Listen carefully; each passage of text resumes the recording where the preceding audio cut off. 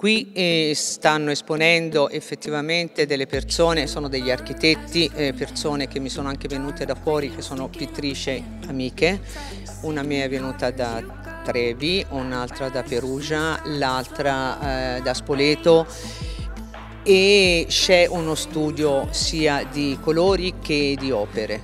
Una collettiva d'arte contemporanea ospitata nella sala espositiva della chiesa di Sant'Angelo al Cassero nel comune di Monte San Savino in mostra sculture ed opere pittoriche di 22 artisti aretini e non solo. L'evento culturale è organizzato dall'Associazione Culturale Visione per Arezzo.